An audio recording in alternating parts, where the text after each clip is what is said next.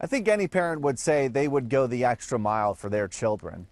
Well, how about mountain biking almost 3,000 miles? That's how a Paw Paw Man plans to honor the memory of his son while also supporting other families dealing with the same stresses of pediatric cancer. When you ask Mark Linder how he's doing, he always has the same answer. Peachy. Yeah.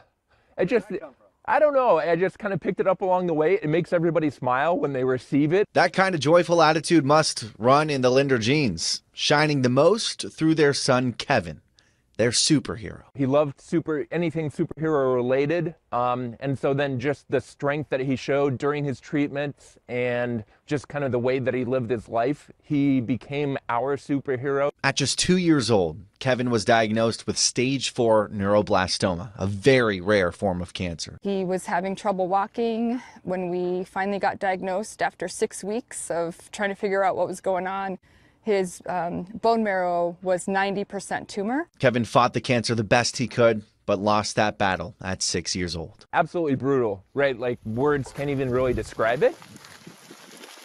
Kevin passed in 2013, and the Linder family still finding new ways to honor their son's memory and support the pediatric cancer community. I figured let's do something epic, let's do something fun, let's go on an adventure, and I love to ride the bike. An adventure Mark is fittingly calling the Epic Bike Ride.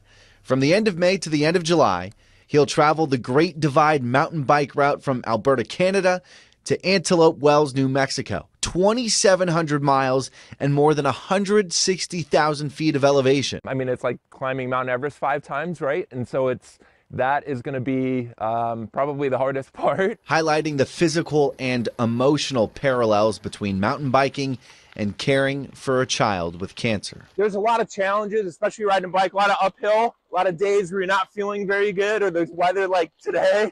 Um, you just kind of have to push through that. The motivation will make this a bit easier hoping to raise $50,000 to support the very same pediatric cancer organizations that helped their own family through the same struggle. So it's a healing process for us, and it's, um, it's a way to show the other families that when the worst happens, you can still you can get still get through life. There's still life after the passing of your child. Mark plans on documenting as much of the journey as he can and posting all these pictures to a website they have created. Also on that website you can donate to help them reach that $50,000 goal. You'll find a link to their website on our website with this story on fox17online.com.